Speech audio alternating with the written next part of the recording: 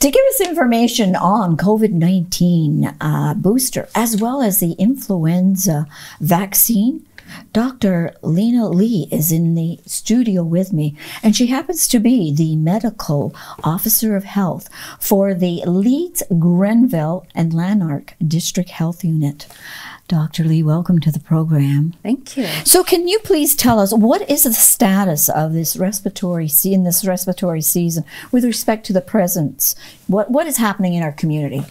Yeah, so uh, a few things to talk about. One is COVID 19 transmission continues to be high and sustained um, over the past month or so. I think really? probably people are hearing about people around them getting sick oh. and getting tested, et cetera, et cetera. So, so we do have transmission of COVID 19. That is in keeping with what's happening around the province. So um, there's lots of COVID 19 circulating. Uh, we do continue to see outbreaks in, in high risk settings such as long term care homes and retirement yes. homes, but our hospitalization and severe outcome rates remain relatively low.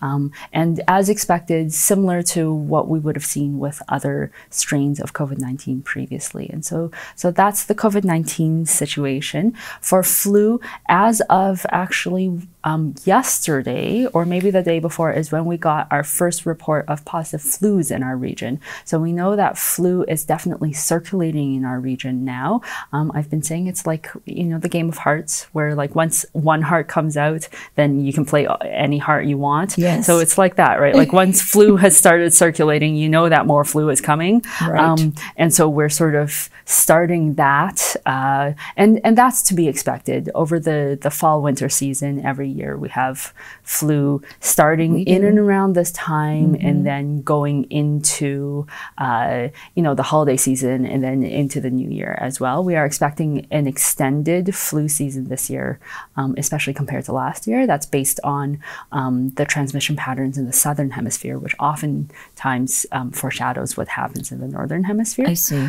Um, and in terms of RSV transmission, we continue to see ongoing RSV transmission. That is happening now. It will, we expect, continue to happen through the respiratory season, as well as other respiratory viruses, what we call cold viruses. Right. Those we are continuing to see and expecting to see throughout the season.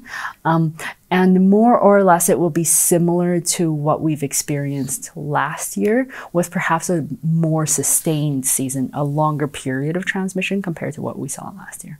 But our numbers are nothing compared to last year, correct? Yeah. So, so, so certainly yes. this time last year, things were um, uh, hopping a great deal more, mm-hmm. um, and so we're yes. we're expecting you know rising transmission um, and then a longer season compared to last year.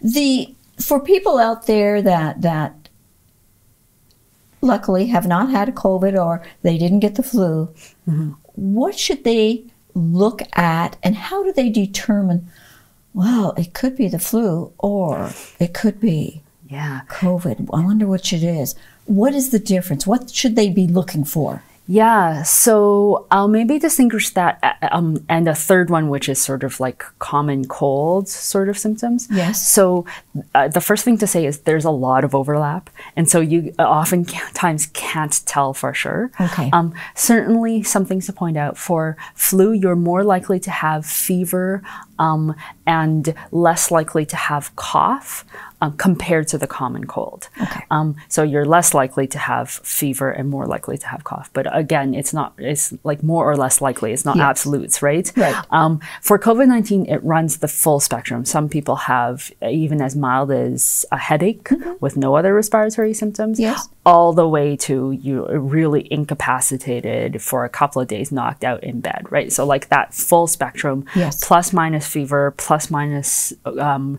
coughs and, and sore mm-hmm. throats, et cetera, et cetera. Um, the benefit of uh, the COVID 19 rapid test is that you can say, you know, if you have a rapid test and it's positive, then you know you definitely got COVID 19. If you have a rapid test and it's negative, it's not totally, um, the, the rapid test will miss about 30% of, of people who actually do have the COVID 19 Okay. infection. For flu and, for example, RSV and other respiratory or cold viruses, there are tests. Most people will not be eligible for testing. Um, those tests are typically reserved for those living in long term care homes and retirement Yes. homes. Um, small children sometimes will be eligible for testing, etc.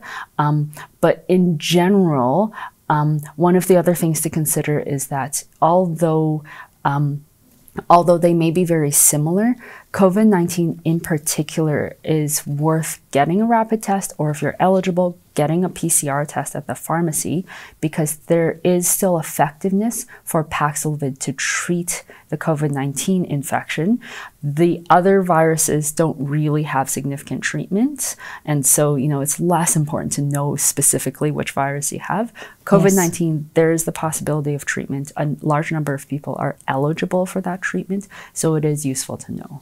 So the the screening test can Mm-hmm. people still obtain these from the phar- pharmacy? Yeah, so the, that COVID 19 rapid test, the take home that you do, you swab your own nose, and Right. you, like do the little chemistry experiment. Um, that you can get in a number of places. Some f- um, pharmacies will carry it, some grocery stores will carry it, some community settings. So, um, you know, if you're going to your local clinic or um, your uh, local municipality every once in a while they may be carrying it um, the one place that i know for sure will carry it is the health unit so Yes. so every health unit branch um, that uh, we have locally in LGL, um, we have those rapid tests available. Come pick it up. Mm-hmm. Um, you can take as many as you'd like.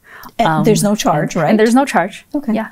And and uh, please do if if you're concerned about COVID nineteen transmission, especially if you're eligible for Paxlovid, that medication, then you know it's definitely worth knowing whether it's COVID nineteen or something Yes. else. Yes, yes, Mm-hmm. I, I agree. I totally agree.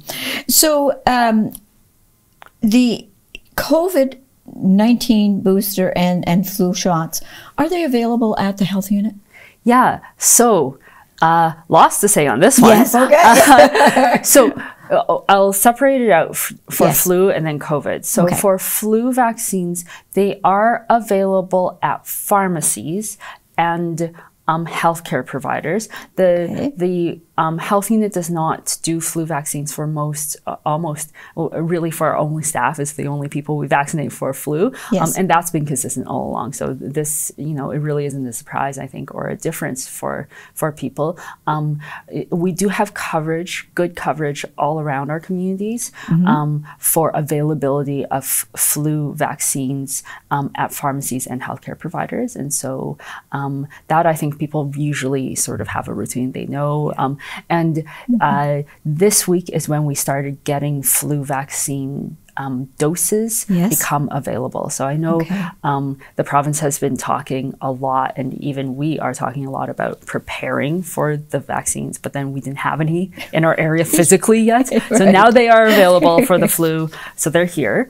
For COVID 19 vaccine, um, this is uh, some changes. So for one, um, the health units, we are not going to be doing those large scale community based clinics um, for COVID 19 the way that we did in the past. Right. And part of that has to do with our, our own capacity, but the other part of it is that actually there is good coverage for availability of those vaccines in pharmacies and Mm-hmm. Yes. healthcare providers, Oh, mostly among pharmacies. Um, right. And so do check in with your pharmacy. We've um, checked and mapped in our region that there is good coverage um, and availability and access um, through pharmacies. We will be making um, COVID 19 clinics at our local branch offices available for a subset of people. And so I, I won't get into the details, but it's certainly on our website who would be eligible to be vaccinated Okay. um, at the health unit. Right. Um, um, uh, we do have a small number of, of clinics that will be open to people who might not be able to get, access through the pharmacy. That will happen probably mid November. Um, and then the last piece to know is there is the COVID 19 vaccine. There's a new strain um, covered in the new COVID 19 vaccine. That specific COVID 19 vaccine is in our region right now, but only for long term care home and retirement home residents and other high risk individuals this week. Okay. Starting early November, that new COVID 19 vaccine formulation will be available to the general public for pharmacies to administer. And so I think one of the things that's been happening is people really are eager to get the vaccine. They've been asking pharmacies, and the pharmacies have been saying, you know, we don't actually have any physical vaccines. Right. Um, so, you know, there's there is vaccine coming. Um, it's just we we haven't received it from the province yet to administer. We just have to be patient, right? Yeah, yeah, Yeah, it's yeah. around the corner. It's it's around the corner. It's coming. Yeah, exactly. It, will be en route soon. Can you tell us about the RSV vaccine? Yeah. So the RSV vaccine is a new vaccine that's been licensed by Health Canada for administration to older adults. Okay. Um, it is a vaccine. So, so um, I think we talked a little bit about RSV um, at the very beginning, Yes. right? Yes. So it is transmitting in our region every year. Um, the populations at greatest risk for transmission and also severe outcomes is young children, especially infants, and then older adults, especially older adults um, living in congregate settings. Um, and so the, this vaccine has been licensed um, by Health Canada. In Ontario, there are two groups that will be eligible. Um, one group, the first is um, residents over the age of, I believe, 60 or 65, I believe it's 60, who are um, residents of long term care homes and a select group of retirement homes.